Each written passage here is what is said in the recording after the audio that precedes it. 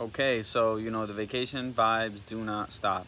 And, you know, sometimes, like, you're not to be able to get anything done, but something is better than nothing. So it's not that, you know, you don't have to vacation or have fun or anything like that. No, it's a lifestyle. But you can focus on what matters, um, you know, in the situation. Like if you can't get the workout done, maybe you can hit 10,000 steps. You can't hit 10,000 steps, maybe, maybe you can hit a gallon of water, you know.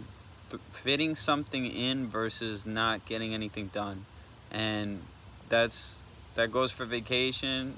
I mean, during COVID, we saw it, you know, everybody stopped working out, they stayed home and they gained 15 pounds. You know, Monday was still leg day, Tuesday was still back day.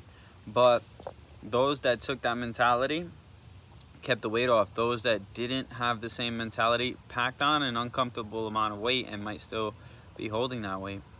But um, work is the same thing, you know, finding those 30 minute gaps. If it's break, I mean, you can go ahead and start uh, running a mile or running two miles if you don't have any bio bionic knees or anything like that.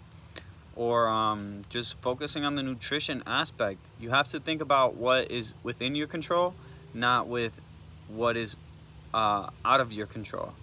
You know, focus on one thing, make that consistent, and then engrave the others. Like I was talking to Gordon today, uh, one of the guys that I train on Saturday, about, you know, I do the same thing every single morning. And it's not the best thing in the world, but it's not the worst thing either. And it's just, I built consistency with it. And that is my 12 ounces of water.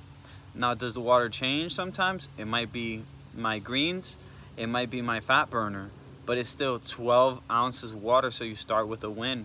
And then I do my coffee right after. So, I mean, that was one of those patterns that, like, when you have it in the bag, then you can build on it.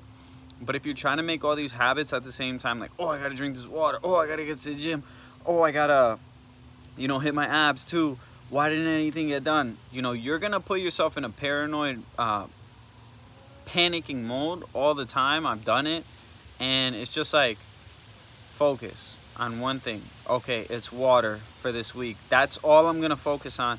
And then once that's down, okay, multivitamin, get it down. Make it easy on yourself. Now, cheat meals, keep them as controlled as possible. Try to track them. Um, you don't have to track on vacation if you don't want to, but you can. I mean, it doesn't matter, you know.